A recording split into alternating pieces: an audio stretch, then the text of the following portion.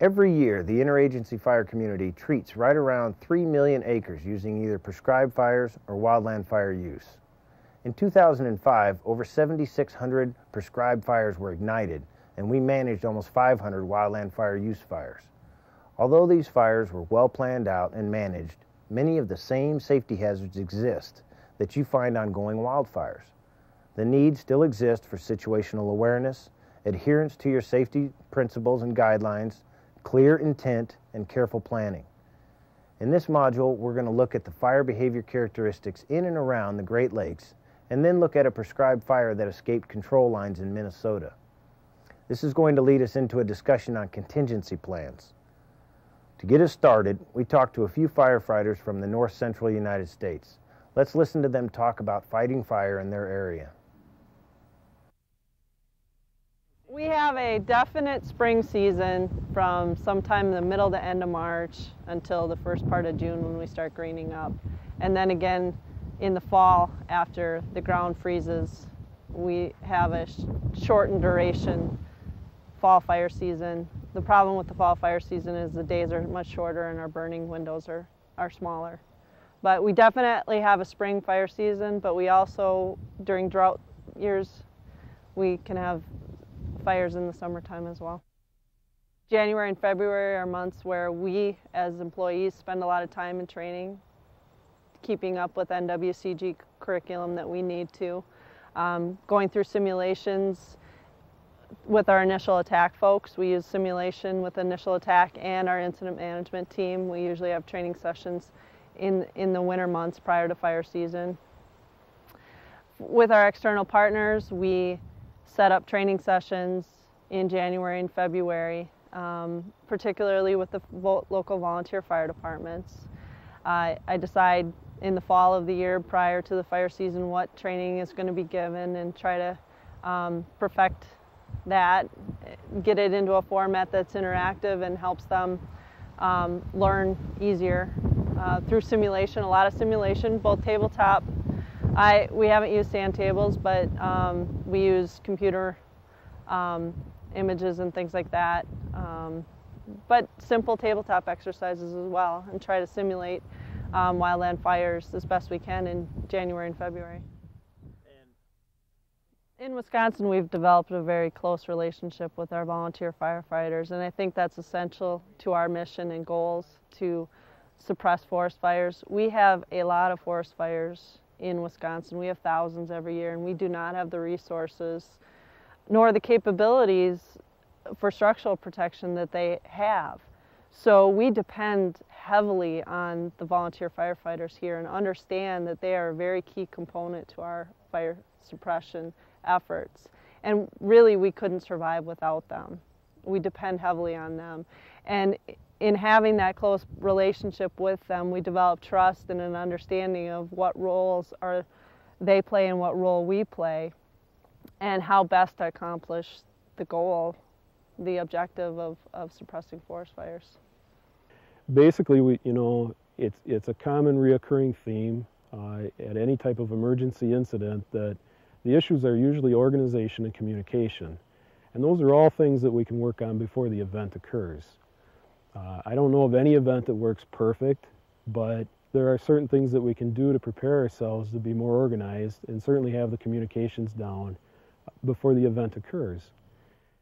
The way that I would explain the zone concept as we use it here in Wisconsin is it's basically a predetermined uh, geographical area, cluster of structures that has been pre-mapped, uh, tallied on how many structures, it's been named with a unique name uh, convention, and uh, the idea is, is that very similar to like a division concept, it's a geographical place on the ground, a group of structures that in the event of a, of a forest fire, we would expect that structural protection would be occurring in that zone.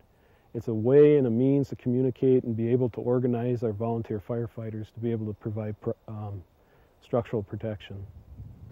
Um, in the state of Wisconsin, we experience fast-moving fires, and sometimes uh, we're looking at a Type 5 fire early on, and we hope to get uh, containment within that, uh, um, say, 15 to 20 minute window. If that doesn't occur, a lot of times we will be moving into extended attack, and if that prolongs and moves into uh, project class type fires, the expectation or what we try to accomplish is to have a type 2 team up and running within two hours to help organize and manage the incident from a large magnitude of resources, both being LE, structural protection, and wildland protection resources, utilizing air resources as well. In the state of Wisconsin, most of our fires are wind driven.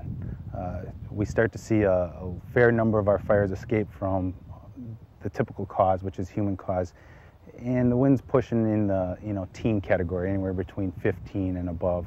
We start to experience some some problems. RHs probably would be um, anything below 30. We start to see fire activity start to pick up, and roughly 20, anything below 20, we are preparing for uh, extreme types of given conditions, or uh, we start to really staff up much heavier with those perspectives. I mean, in the event that we would push into the teen category, we'd be potentially looking um, bringing on additional heavy dozers, putting on additional crews that would be available in the state.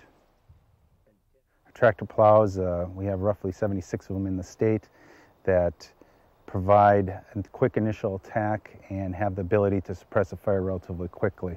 Um, unlike the West, we don't deal with the terrain, nor do we have a, a, tremendous amount of Type 2, Type 1 crews in the state of Wisconsin, and tractor plows augment that for us to suppress fires basically in the field types that we're looking at right now.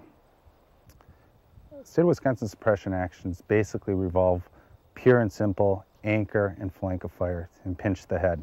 Um, that involves establishing strong anchor points, then burning out the line for our escape routes and safety zones back into the black, and continuing uh, along the flanks until we actually overcome the head. And usually that's dependent upon the field type. And in most cases, if it's a project class fire, we'll catch it with the evening um, weather cycle of higher humidities, lower temperatures, and lower winds.